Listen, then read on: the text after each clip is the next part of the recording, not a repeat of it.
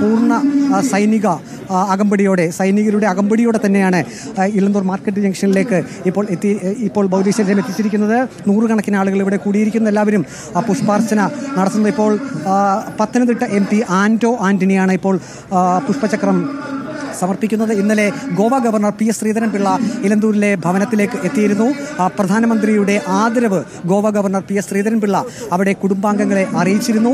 ഇന്നിപ്പോൾ ജനപ്രതിനിധികൾ ഉൾപ്പെടെയുള്ളവർ പുഷ്പ പുഷ്പ പുഷ്പാർച്ചന നടത്തുന്നുണ്ട്. പുഷ്പചക്രം സമർപ്പിക്കുന്ന ദൃശ്യങ്ങളാണ് ഇപ്പോൾ കാണുന്നത്. ഇത് ഒരു അത്യപൂർവമായ കാഴ്ച തന്നെ എന്ന് പറയാം. ഇന്ത്യൻ മിലിറ്ററിയുടെ ഇന്ത്യൻ സൈന്യത്തിന്റെ ചരിത്രത്തിൽ ഏറ്റവും ദൈർഘ്യമേറിയ തിരച്ചിലായിരുന്നു ഈ സൈനികർക്ക് വേണ്ടി നടത്തിയിരുന്നത്. കാരണം അന്ന് നൂറ്റി രണ്ട് പേരാണ് ആ സൈനിക വിമാനത്തിൽ ഉണ്ടായിരുന്നത്. അതിൽ ഒൻപത് പേരുടെ മൃതദേഹങ്ങൾ മാത്രമാണ് നീണ്ട അൻപത്തി ആറ് വർഷങ്ങൾക്കിടയിൽ കണ്ട് കിട്ടിയിട്ടുള്ളത്. ഇപ്പോഴും ആ, ബാക്കിയുള്ളവരുടെ തിരച്ചിൽ നടക്കുന്നു. അതായത് ഇന്ത്യൻ സൈന്യം ഇതുവരെ ആ വിമാനാപകടത്തിൽ മരിച്ചവരെ ഉപേക്ഷിച്ചിട്ടില്ല. അവരെ ആ, മഞ്ഞുമലയിൽ എവിടെയോ കിടക്കുന്ന അവരെ തേടിയുള്ള സൈന്യത്തിന്റെ തിരച്ചിൽ ഇപ്പോഴും തുടരുന്നു. വർഷങ്ങൾക്കു ശേഷവും ഒരു തെരച്ചിൽ നടത്തുന്നു. തങ്ങളുടെ പ്രിയപ്പെട്ട നൂറ്റി രണ്ട് പേർ അതിൽ ഒൻപത് പേരുടെ മൃതദേഹം വീണ്ടെടുക്കുന്നു. ഇന്ത്യൻ സൈന്യം നടത്തിയ ഏറ്റവും ദൈർഘ്യമേറിയ തെരച്ചിലിനൊടുവിലാണ് മലയാളിയായ തോമസ് സിറിയൻ അടക്കമുള്ളവരുടെ മൃതദേഹങ്ങൾ കണ്ടെത്തിയത്. നോക്കൂ ഇതൊരു അപൂർവമായ കാഴ്ചയാണ്. ആ നാടിന് അൻപത്തിയാറ് വർഷങ്ങൾക്ക് മുമ്പ് ആ, നാട്ടിൽ നിന്ന് പോയ ഒരു സൈനികനെ തിരികെ അദ്ദേഹത്തിന്റെ ഭൗതിക ശരീരം എത്തിക്കുമ്പോൾ ആ നാട് വളരെ ഉചിതമായ ഒരു യാത്രയപ്പ് നൽകുന്നതിന്റെ ദൃശ്യങ്ങളാണ് പ്രേക്ഷകർ കാണുന്നത്.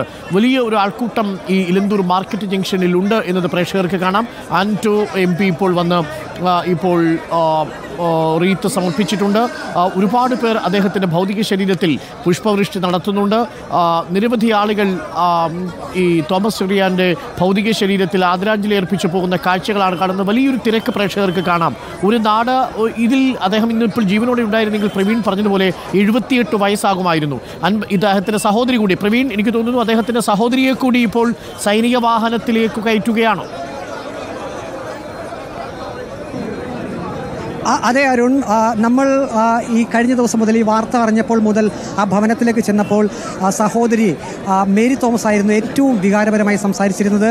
കാരണം അന്ന് ഈ അപകടം സംഭവിക്കുമ്പോൾ അവർക്ക് പന്ത്രണ്ട് വയസ്സ് മാത്രമായിരുന്നു പ്രായം. അന്ന് തോമസ് ചെറിയാന്റെ മുഖം കൃത്യമായും അവർ ഓർക്കുന്നുണ്ടായിരുന്നു. വീട്ടിലെ സംഭാഷണങ്ങൾ എല്ലാ കാര്യങ്ങളും ഓർക്കുന്നുണ്ടായിരുന്നു. അന്ന് പറഞ്ഞത് അന്നത്തെ കാലത്ത് തന്റെ സഹോദരൻ സൈന്യത്തിലേക്ക് പോകുന്നു.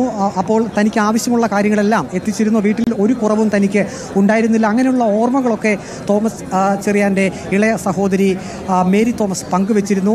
കൂടാതെ മറ്റ് ഇപ്പോൾ ജീവിച്ചിരിക്കുന്ന മറ്റ് സഹോദരന്മാരും അദ്ദേഹത്തെക്കുറിച്ച് നല്ല ഓർമ്മകൾ തന്നെ പങ്കുവച്ചിരുന്നു. ഇവർ അഞ്ച് മക്കളാണ്. നാല് ആൺമക്കളും ഒരു മകളുമാണ്. ഇതിൽ മൂത്ത ആൾ മരിച്ചുപോയി രണ്ടാമത്തെ ആളാണ് തോമസ് ചെറിയൻ. അങ്ങനെ ആ അഞ്ച് സഹോദരങ്ങളിൽ രണ്ടുപേർ ഇപ്പോൾ ജീവിച്ചിരിപ്പില്ല. ബാക്കി രണ്ട് സഹോദരങ്ങളും ഒരു സഹോദരിയും ഇപ്പോഴുണ്ട്. ഒരു പക്ഷേ അവരായിരിക്കും ഈ ജീവിതത്തിൽ ഏറ്റവും കൂടുതൽ ഈ ഒരു കാര്യത്തിൽ സംതൃപ്തി അനുഭവിക്കുന്നവർ. കാരണം നമുക്കറിയാം നമ്മുടെ വീട്ടിലൊരു കുടുംബാംഗം ഇങ്ങനെ ഒരു അപകടം സംഭവിച്ച് കാണാമറയത്ത് പോയി കഴിഞ്ഞാൽ പിന്നീട് എന്ത് സംഭവിച്ചു എന്ന് എന്നത് മനസ്സിലാക്കുന്നത് വരെ എല്ലാ ദിവസങ്ങളിലും ഒരുപക്ഷെ നമുക്ക് സമാധാനമായി ഉറങ്ങാൻ കഴിയില്ല. അങ്ങനെ ഒരു അവസ്ഥയിൽ തന്നെയായിരുന്നു.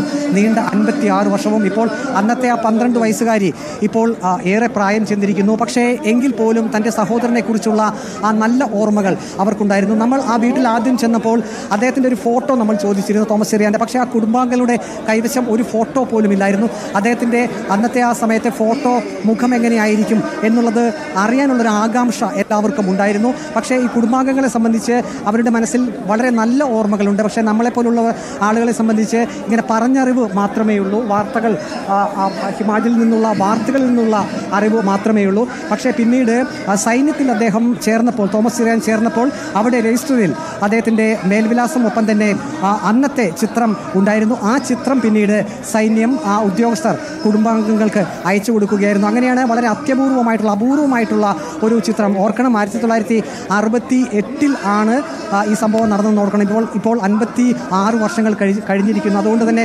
കുടുംബാംഗങ്ങളുടെ പക്കൽ ഒരു ഫോട്ടോഗ്രാഫ് എന്നുള്ളത് ഇല്ലായിരുന്നു. പല ആൽബങ്ങളും പരിശോധിച്ചെങ്കിലും അന്നത്തെ കാലത്തെ ആ ഒരു ഫോട്ടോ ലഭ്യമായിരുന്നില്ല. പിന്നീട് സൈന്യത്തിൽ നിന്നും ഇങ്ങനെ ഒരു അറിയിപ്പ് വന്നപ്പോഴാണ് അദ്ദേഹത്തിന്റെ ആ മുഖം എല്ലാവർക്കും കാണാൻ കഴിഞ്ഞത്. ഇരുപത്തിരണ്ട് വയസ്സുകാരന്റെ ആ ഒരു തേജസ്സുറ്റ മുഖം അന്നത്തെ കാലത്ത് പത്താം ക്ലാസ്സും ഒപ്പം തന്നെ അന്നത്തെ കോളേജ് വിദ്യാഭ്യാസവും പൂർത്തിയാക്കിയ ശേഷമായിരുന്നു സൈന്യത്തിലേക്ക് ചേരാൻ അദ്ദേഹം പോയത്. അവിടെ ക്രാഫ്റ്റ്സ്മാൻ ആയിട്ടായിരുന്നു ജോലി ചെയ്തിരുന്നത്. തന്റെ ആ, പരിശീലനം വിജയകരമായി പൂർത്തിയാക്കിയതിന് ശേഷം അദ്ദേഹം വിമാനത്തിൽ പോകുമ്പോൾ അതിനു മുമ്പ് എഴുത്തുകൾ എഴുതിയിരുന്നു. എഴുത്തിൽ ട്രെയിനിങ് കഴിഞ്ഞു. ഞാൻ ഇന്ന സ്ഥലത്തേക്ക് ജോയിൻ പ്രവേശിക്കുന്നതിന് വേണ്ടി പോവുകയാണെന്നുള്ള അറിയിപ്പൊക്കെ അന്ന് കത്ത് മുഖേന അറിയിച്ചിരുന്നു. കുടുംബാംഗങ്ങളെ അറിയിച്ചിരുന്നു. അന്ന് ആ തോമസ് ചെറിയാന്റെ മാതാപിതാക്കൾ ഉണ്ടായിരുന്നു. മാതാപിതാക്കൾ അന്ന് വളരെ സന്തോഷത്തിലായിരുന്നു. കാരണം മൂത്ത മകനും സൈന്യത്തിലാണ് ഇളയ മകനും രണ്ടാമത്തെ മകനും അതേ പാത തിരഞ്ഞെടുത്തപ്പോൾ ആ മാതാപിതാക്കൾ സന്തോഷിച്ചു. പിന്നീട് ഇങ്ങനെ ഒരു വിവരം വരുന്നു. അതായത് വിമാനം മിസ്സാകുന്നു. എന്ത് സംഭവിച്ചു എന്ന് അറിയാൻ കഴിയുന്നില്ല. അങ്ങനെ കുടുംബാംഗങ്ങളെല്ലാം അന്നത്തെ കാലത്ത് വളരെ പരിഭ്രാന്തരായിരുന്നു. ഈ- സഹോദരങ്ങൾ പറഞ്ഞത് അന്ന് ഒരു അന്ന് ടെലിഗ്രാം മുഖേനയാണ് വിവരം അറിഞ്ഞത്. അന്ന് ഇപ്പോൾ നാം ഈ കാണുന്ന ഇലന്തൂർ മാർക്കറ്റ് ജംഗ്ഷനിൽ വെച്ചാണ് തോമസ് ചെറിയാന്റെ പിതാവിന് ആരോ ടെലിഗ്രാം ലഭിക്കുന്നത്. അതിൽ സൂചിപ്പിച്ചിരുന്നത് ഇങ്ങനെ മകനെ കാണുവാനില്ല എന്നത് മാത്രമായിരുന്നു.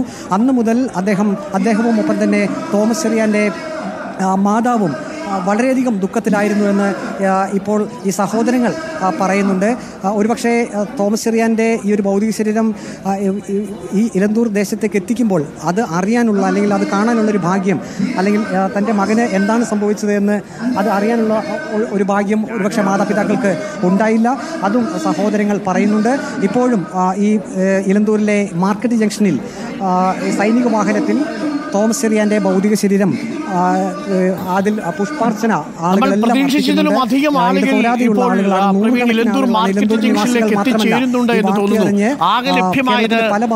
തോമസ് ചെറിയാന്റെ ഒരു ചിത്രം മാത്രമാണ് എന്നുള്ളതും കൗതുകകരമാണ്. അൻപത്തിയാറ് വർഷങ്ങൾക്ക് മുമ്പ് തോമസ് ചെറിയാൻ ഈ നാട്ടിൽ നിന്ന് പോകുമ്പോൾ ചെങ്ങന്നൂർ റെയിൽവേ സ്റ്റേഷനിൽ നിന്ന് മറ്റുമാണ് അദ്ദേഹം അന്ന് ഡൽഹിക്ക് ദില്ലിക്ക് പോകുന്നത്. പിന്നീട് ചണ്ഡീഗഡിൽ നിന്ന് ലേയിലേക്കുള്ള വിമാനയാത്ര മധ്യയാണ് റോത്തങ് പാസിലെ മലനിരകൾക്ക് മുകളിൽ തോമസ് ചെറിയാന്റെ ഏഹ്, സഞ്ചരിച്ചിരുന്ന വിമാനം തകർന്നു വീഴുന്നതും അതിലുണ്ടായിരുന്ന നൂറ്റി രണ്ട് സൈനികരും അപ്രത്യക്ഷരാകുന്നതും. അന്ന് ഒരു മിസ്സിംഗ് എന്ന് പറഞ്ഞ മറ്റൊരു ടെലിഗ്രാമാണ് തങ്ങളുടെ കുടുംബത്തിന് കിട്ടിയതെന്ന് ആ കുടുംബം ഓർമ്മിക്കുന്നു. ഇന്നിപ്പോൾ ആ സൈനിക വാഹനത്തിലുള്ള സഹോദരി മേരി തോമസ് മാത്രമാണ് ഈ തോമസ് ചെറിയാനെ കൃത്യമായിട്ട് ഓർമ്മിച്ചെടുക്കുന്നത് പോലും. അന്ന് മേരി തോമസിന് പ്രായം പന്ത്രണ്ട്. തോമസ് ഇറിയാന് പ്രായം ഇരുപത്തിരണ്ട്.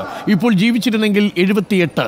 അൻപത്തിയാറ് വർഷം സൈന്യം നടത്തിയ ദൈർഘ്യമേറിയ ഒരു തിരച്ചിലിനൊടുവിലാണ് സഹപ്രവർത്തകരിൽ ഒരാളായ ധീരജവാന്റെ മൃതദേഹം കണ്ടെത്തിയിരിക്കുന്നത്.